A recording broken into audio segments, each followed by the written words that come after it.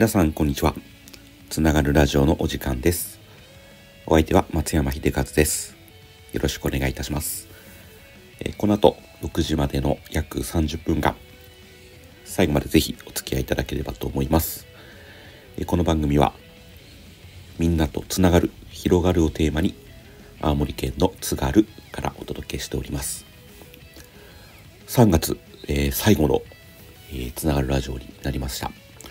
えー3月はね日曜日が5回あるということでもう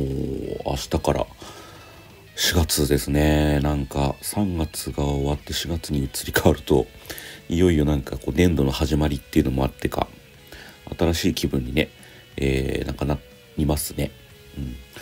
自分は特別新しいことに あの年は変わってもあのやっていく仕事は変わらないので、えーなんかこう職場がね変わったりとか、えー進学したり、うん、あと就職したりとか、まあ、そういうふうにね、えー転勤とかこう移動を伴う、えー皆様は、えー今日のこの3月31っていう日は結構ドキドキしてらっしゃる方も多いんじゃないですかね。うん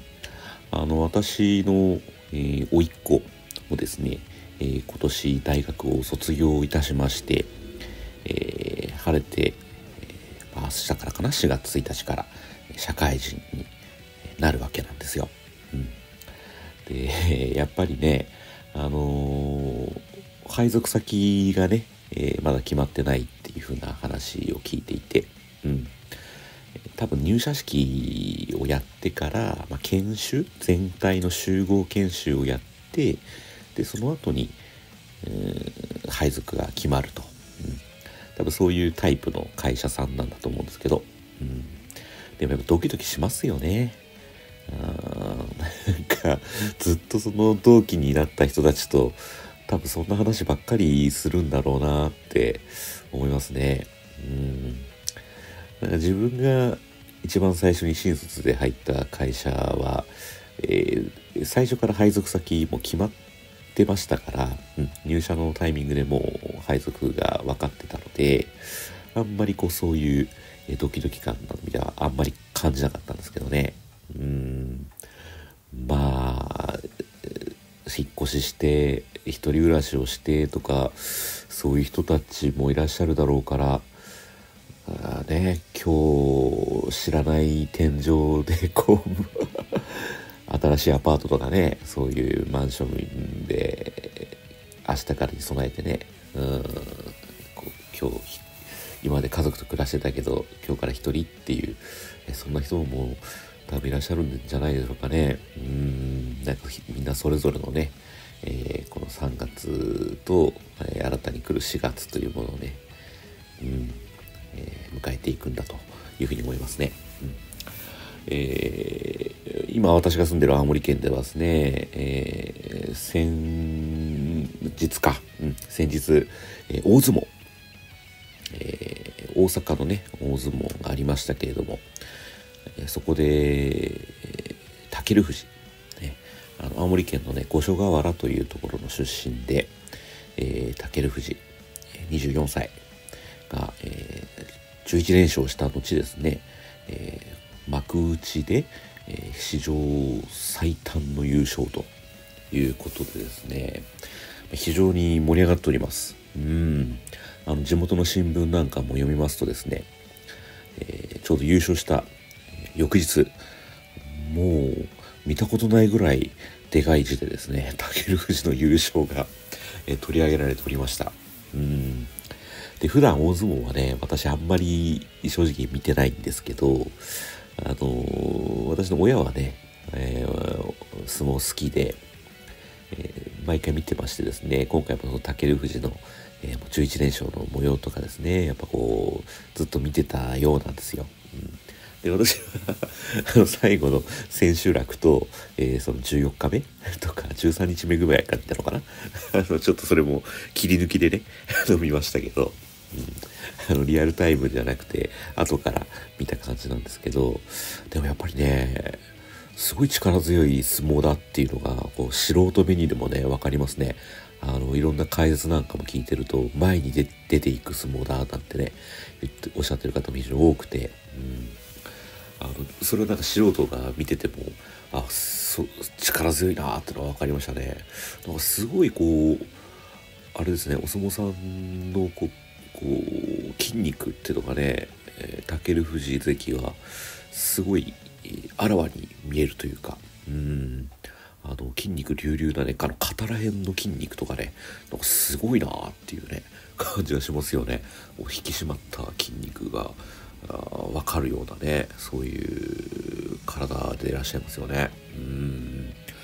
でやっぱ五所川原出身ということでねあの結構その相撲どころというか、うん、あのやっぱ高校なんかも有名なところがあってね、まあ、竹富士はそちらの高校ではないですけど、うん、あの有名なね相撲に力を入れてる高校なんかもねやっぱすごく多い地域でございまして、うん、あの私もね相撲を普段見ない私でもあのやっぱすごく嬉しい気持ち。うん。にわかファンみたいな感じにねちょっとなっておりますけど、うん、あのこれからねちょっと怪我もねちょっとしてそれを押しての優勝っていうのもね結構感動的というかあでしたけども。一方でねやっぱ今後のその競技人生っていうんですかねあの相撲の人生に影響がなきゃいいななんていうふうにも、えー、思っております。はい、えー、この番組ではですねメッセージもお受けしております。メールアドレスは797アットマーク FM ギノワンドットコム797アットマーク FM ギノワンドットコムです。す、べ、て小文字となっております。はい、それでは今日も始めていきます。よろしくお願いします。この番組は青森県弘前市で創業46年、弘前アルミ証券の提供でお送りいたします。ガラスが割れてしまった。内窓をつけたい。玄関ドアをリフォームしたい。カーポートを設置したい。家の中に手すりをつけたい。お家の困りごとは何でもお任せください。この道一筋の職人が皆様のお悩みに寄り添います。今なら窓のリノベーションが補助金を使ってできる可能性があります。詳しくは弘前アルミ証券ホームページ、Facebook ページからお問い合わせください。お届けしておりますのは、つながるラジオです。お相手は松山秀勝です。はい、えー、今日はですね、えー、チーム作り、えー、チーム作りについてですね、ちょっとお話をしていきたいと思っております。はい、えー、私はあの一番最初入った会社で、えー、店長職をしておりましてですね、えー、まあ、ユニクロの店長をやってたんですけど、えその時はやっぱりこうチームでね仕事をするっていうことが、まあ、求められるというか、えー、やっぱお店の運営っていうのはですねやっぱ一人では、えー、到底できないものですので、えー、いろんな人のですね、まあ、スタッフの皆さんの力を借りてですね、え運営をしていくということになるわけなんですが、まああのそういったお店形態ではなくてもですね、え皆様のお仕事でも、まあ、あの個人でね仕事をすることも場面もあれば、えそうじゃなくて、えチームでプレイするというかチームプレイの場面もあるんじゃないかなと思うんですよね。うん、でまあ本当に一人きりでやるっている仕事以外の方は、まあ大概チームプレイは絶対あるんじゃないかなと。まあ一人の方でもね、まあお相手、お客様がいらっしゃったらやっぱそこで全くコミュニケーション取らないっていうことはないと思いますのでね、まあチームとは言わなくても、やっぱ何かしらこう、えー、コミュニケーション発生するとは思うんですが、うん。え今日はそのチーム作りについてですね、お話をしていきたいと思ってまして、で、私はですね、まあ、チーム作りは本当に最初めちゃくちゃ苦手でして、えー、最初にやっぱり入社して、えー、そういう、こう、みんなの力をね、こう借りるっていうことの場面に初めて立った時に、まあ、何もできないわけですよ。あの自分は仕事がね。あの周りのスタッフの皆さんの方が、えー、まあ、仕事のはベテランで、えー、能力値も高くて、うん、まあ、あの熟知している、うん、で一方新入社員の私っていうのは、まあ、当然ではあるんですけど、まあ、仕事は未熟で、えー、知らないことだらけで、うん、で、えー、まあま、まごまごしているというかですね、あの、落ち着きがない、もう不安で仕方がなくて。そんな状況なわけですよ。で、えー、それでもね、えー、まあ、最初の最初からはやらなかったですけど、やっぱりある一部分というかですね、まあ、最初はまず仕事を覚えていって、えー、そうするとこう、あるまあ、パート分けみたいなことですね役割分担をしていくとその部分ではこう周りの協力を仰いでお店を良くしていく行動をしていくとか、まあ、その売り上げ売上を上げていくっていうですね、えー、ことをお願いしていくと、うん、そういう場面がまあ来るんですけど、私の場合はね本当に苦手だったのがやっぱお願いができない。うーん なんかやっぱ人になんかお願いすることがま苦手でうんえー、なかなかこう自分から、えー、お願いをするというよりも自分でやってしまうと、うん、いうことが結構大きかったなと思うんですよね。うん、でで当時、まあ、あの私はまだ店長の前の、まあ、社員さんだったんですけど、まあ、その時のですね、まあ、店長、まあ、お世話になったね、まあ、店長ですよ、まあ、僕のことを一番初めに育ててくれた店長さんえー、がですねまあ結構厳しい方だったんですが、うん、あのまあ、その時に言われたのがですね、まあ、未だに結構残っていてあのまずのチームを作っていくためには、えー、自分が誰よりも仕事ができなきゃダメだよと、うん、いうことを言われたんですよ。あのであなたがね、まあ、僕ですよ。あなたが、え店長になる時その教えることができないと。教え育てることができないと。自分がきちんと仕事を習得してできるようになっていなかったら相手に伝えることができないだろうと、うん、だから、えー、今あなたがね、まあ、私が、うん、松山ですよ。松山が抱えてる気持ちっていうのはスタッフの皆さんが仕事を新しく入社した皆さんが抱く気持ちと同じだからその気持ちは忘れちゃいけないと、うん、なんかそんな話をしてくださったことがあって。うん。で、まあ、その話ってやっぱり未だにねあのもう何十年も前の話なんですけど、まあ、未だに覚えていてですねその場面シーンもしっかりと覚えていてあやっぱりこう自分が仕事がきちんと、えー、正しい手順で、まあ、正しいあと水準で、うんえー、できなきゃいけないなとうん目的理由をちゃんと伝えられる。どうしてこの仕事をやれやらなきゃいけないのか。どうしてこの仕事が必要なのかっていう目的理由も伝えられると、まあ、そこまでちゃんとならないといけないなっていうふうにこう強く感じた、えー、店長の言葉だったんですよ。うん、でやっぱそれってね、あのー、チーム作り後々、まあ、最初からうまくいってるわけじゃないんですけどやっぱずっとずっとずっと後に、まあ、チーム作りってこんなことやっていくんだなってなんとなくこう掴み始めてきた時にやっぱり響いていてうん。自分がやっぱりできるってていうことはすごく大きいなと、うん、いうふうに思いました。あのやっぱ信頼関係の構築にはやっぱあの必要な要素だなと思いました。うん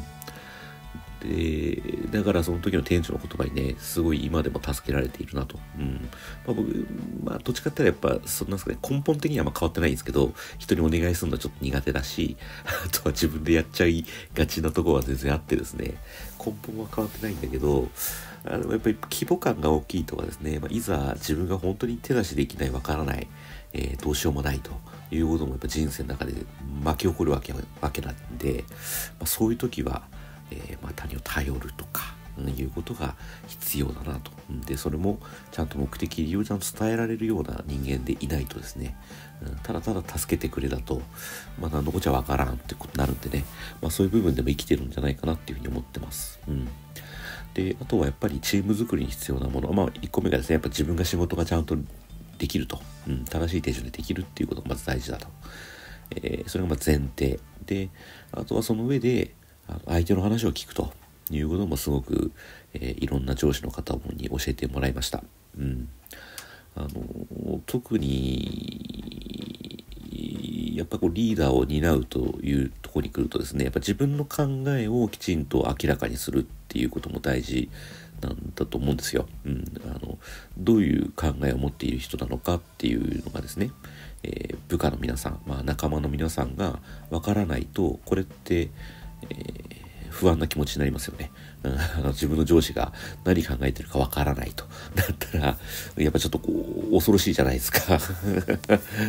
どこで地雷踏んじゃうんだろうみたいなね、そういう気持ちにもなりますよね。まあ、あとは、どうどう自分が成長できるのかっていうかですねやっぱその職場とか、えー、その上司の環境に一緒に働かせていただく中で自分がやっぱどう成長できるのか何を吸収できるのかっていうのもやっぱ部下の心としてやっぱ大事なポイントだと思うんですよ。うんそういった意味でもね、あのまあ、リーダーになった人っていうのは自分がどういう考えでいるのかっていうことを明らかにすると。うん、でその上で相手の話をやっぱ聞くということはやっぱ大事かなと。うんあの一方ではねその考えだけをやっぱ伝えがちになっちゃうなと思ってましてこれ実体験なんですけどあのやっぱ自分こうしたいとかああしたいとかですねあそういうこう夢が膨らんでしまうと結構一方通行なコミュニケーションにやっぱなってしまいがちだなと。うんでなんか相手の話を聞くために、なんか面談の時間とかね、えー、なんかコミュニケーションの時間を設けているはずなのに、気づいたら自分だけが喋っているっていうのも、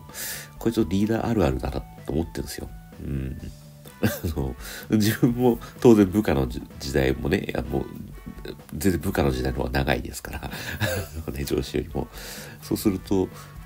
やっぱ面談しましょうってなって、って声かけてくださった時に自分でこういったこと話したいなってちょっとこう思ってたことも結局そのメンターの時間ずっと上司に話を、えー、振られ上司が話をして終わってしまったっていう経験も結構あってですね。うん。それだとやっぱ信頼関係なかなか築けないなと思います、うん、やっぱ大事なのはあの自分の考えリーダーとしては考えを伝えることはもちろん大事だけど、まあ、その上でえー、相手がどう考えてるのかっていうことを聞く、うん、ことが大事なのかなと思いますね。うん、で、やっぱ相手にマイクを向けるというか、相手の話を聞こうとする姿勢っていうのは、あのもちろんこう、お相手のね、考えを理解して、えー、それをこう反映していくっていうことにもつながるとは思うんですけど、まあ、それだけじゃなくてですね、あのお相手の考えが喋ることで整理されるっていうことにもつながると思ってます。うん。あの、誰しもがやっぱ話をする時に、えー、順序立ててですね、綺麗にこうお話しできる人ばかりではなくて、えー、なんかこうぐちゃぐちゃっとした思いを、えー、なんとか言葉を紡いで出してくるということもですね、あの全然あるんですよね。うん。でその時になんか何言ってるかわからないっていうふうにやっぱ片付けてしまうんじゃなくてその心の声をなんとかえー、言葉にしているっていう過程をちゃんと紐解いてあげながら、うん、でどういうふうな、えー、ことを言いたいのかっていうことをやっぱ徹底的に聞いていくっていうことがやっぱ必要なんだと思います。うんあのー、なんかすごく偉そうに言ってますけどね、これやっぱ私も全然うまくできなくってですね、うん、あのー、なぜならやっぱ人によって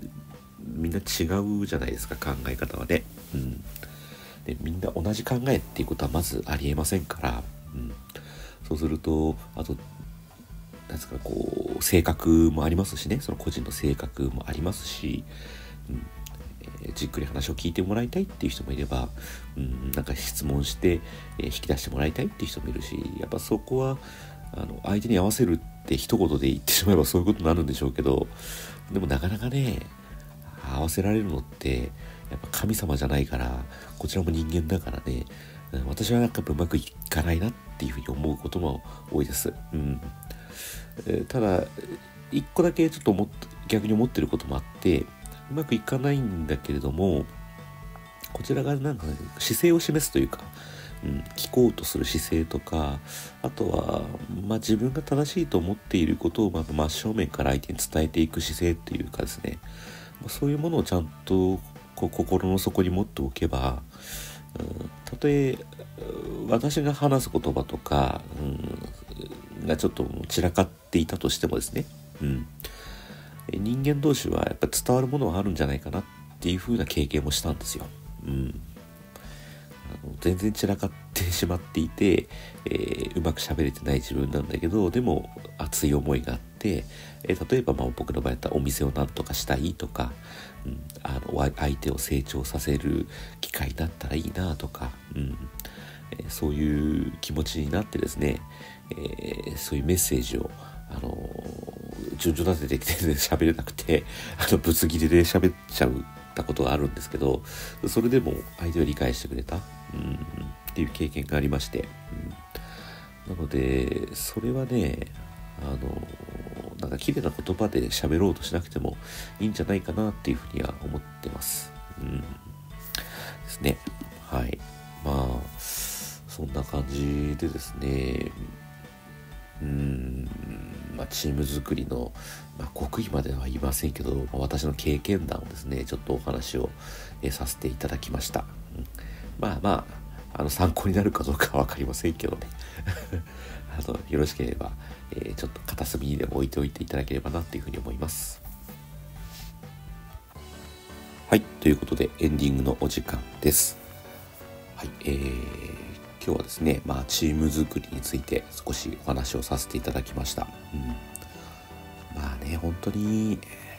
まあ、未だにやっぱ悩みますね。うんまあ、私はそういうチームを持っているわけではないんですけど、やっぱ人との関わり合いっていうので、えー、悩むことがやっぱありますし、うん、まあ、そういうもんなんだろうなと。思ってます。あのそうだな最近やっぱ自分が心がけてる心がけてるのはなんかマイナスのスイッチやっぱ入っちゃう瞬間やっぱあってですねなんかこう、まあ、冷たい言葉もらっちゃったりとかですねうんなんかまあポジティブなメッセージを受け取れなかった時、それを自分でどうポジティブに転換していくのかっていうことも結構大事だなっていうふうに最近思っててですね。まあいろいろ試してるんですけど、うん、まあまあみんな多分何かしら抱えてね、あの悩みってあるもんだと思いますんでですね、えチーム作りもそうなんじゃないかなと思います。はい。えー、毎週日曜日え5時半からはつながるラジオをお届けしております。YouTube でもですね、こちらアーカイブご覧いただけますので、えー、YouTube のですね、検索窓に、えつながるラジオと、カタカナですね、カタカナでつながるラジオと入れていただけましたら、えチャンネル出てまいります。えー、過去約50回近くですね、もうやってますので、アーカイブ残っておりますので、え、よろしければご覧いただければなというふうに思いますし、えー、その YouTube からですね、あの、お聞きいただく場合はですね、えー、その動画のところに QR コードがございます。え QR コード読み込んでいただきましたら、え私にまつわる、まあ、SNS だったりとかですね、えホームページだったりとか、情報ございますのでですね、え毎日 SNS の発信をちょっとやっておりまして、まあ、最近は X、えーと、Facebook と、あと note、あと LinkedIn、同じ内容なんですけど、あの毎日投稿しております。もうようやく、えー、もうちょっとで500日かな、うん、ぐらいに、え、毎日連続で投稿してますのでですね、えーま、もしよかったらそちらもご登録いただけたり、フォローいただけたり、えー、いいねボタンを押してくれたらですね、励みになりますので、えよろしければお願いいたしますということです。はい。えそれでは、え最後までお付き合いいただきましてありがとうございました。また来週お会いいたしましょう。失礼いたします。